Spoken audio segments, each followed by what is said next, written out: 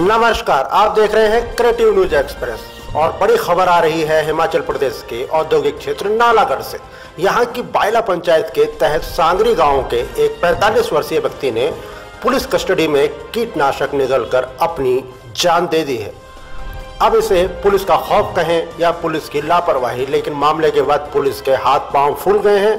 आरोपी ने अपनी पत्नी के साथ मारपीट की थी, जिसका मामला महिला पुलिस थाने में दर्ज किया गया था जिस पर पुलिस ने उसे हिरासत में लिया था और 21 तारीख तक अदालत ने उसे पुलिस कस्टडी में सौंपा था। इनका क्या नाम है जी?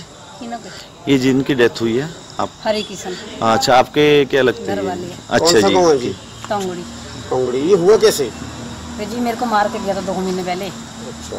फिर पुलिस केस हुआ तो फिर भाग गया था ये। तो उन्होंने कल पकड़ के लेना इसको। तो आज घर में गए वो जिसके साथ मेरे को मारा था दाज के साथ तो वो लेने गए घर से। तो पुलिस वाले बाहर लिखा पढ़ी कर रहे थे। उसने अंदर से बस बोले मैं कपड़े लेके आता हूँ। अंदर रखी थी कहीं से वहाँ से पी के आ गया अंदर। तो ये काम क्या करते थे कुछ नहीं करते थे घर में रहते थे ऐसे बड़े बड़े बच्चे कितने दो लड़के। हैं बच्चे बड़े हैं? हाँ जी एक अठारह साल का बाईस साल का है। पुलिस टीम उसे उसके घर पत्नी की मारपीट में प्रयोग किए गए हथियार को बरामद करने ले गई थी, जहाँ उसने अपने कपड़े ले जाने का बहाना बनाया और कमरे में अकेला चला गया। पहले से ही रखा कीटनाशक उसने कमरे के अंदर निगल लिया। जब तक उसे देखा गया, उसके मुँह से झाग निकल रहा था और थोड़ी ही देर में उसने दम तोड़ दिया। इस पूरे मामले की पुलिस ने न्यायिक जाँच शुरू करवा दी है। आप पंचायत प्रधान है जी, आपके वाइफ वाइफ प्रधान है?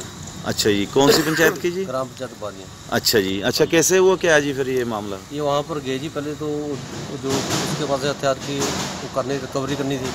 उसके लिए साहब साथ में गए और अंदर जाके उसकी रिकवरी के साथ में थे सभी हम भी साथ में थे। उसके बाद बाहर आए तो फिर उसके बाद दोबारा अंदर गया। ये पुलिस वाले उधर खड़े थे दोनों लड़के। ये साहब अपनी कार्रवाई कर रहे थे। आप भी वहीं थे उस टाइम हाँ उधर ही थे जी। थे।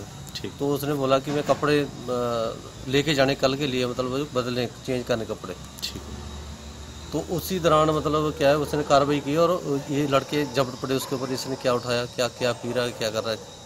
तो कुछ तो इन्होंने ले लिया कुछ उसने निकल लिया नीचे। अच्छा मौके पे उस उस टाइम जानकारी के अनुसार 45 वर्षीय हरि कृष्ण राम शहर के सांगरी गाँव का रहने वाला था। अपनी पत्नी के साथ उसने मारपीट की थी। इस दौरान अपनी पत्नी का दांत भी उसने तोड़ दिया था। मामला पुलिस के संज्ञान में पहुँचा और पुलिस ने आरोपी हरि कृष्ण को हिरासत में ले लिया। उसे अदालत ने 21 सितंबर तक की पुलिस रिमांड पर भेजा था। पुलिस टीम आरोपी से उसकी पत्नी के साथ मारपीट में इस्तेमाल हथियार बरामद करने के लिए उसे पैतृक गाँव ले गई थी। जहाँ पर यह हादसा हो गया। बताया जाता है कि घर में रखा करीब 250 ग्राम कीटनाशक उसने निगल लिया, जिसके कारण उसकी मौके पर ही मौत हो गई। फिल वक्त पुलिस ने शव को कब्जे में लेकर पोस्टमार्टम के लिए नालागढ़ के सिविल अस्पताल भिजवा दिया है। आपको हमारे प्रयास कैसा लगा, नीचे कमेंट बॉक्स में जाके कमेंट करना ना भूले। साथ ही बेल आइकन को दबाए ताकि हमारी लेटेस्ट खबरें आपको टाइम टू टाइम मिलती रहे।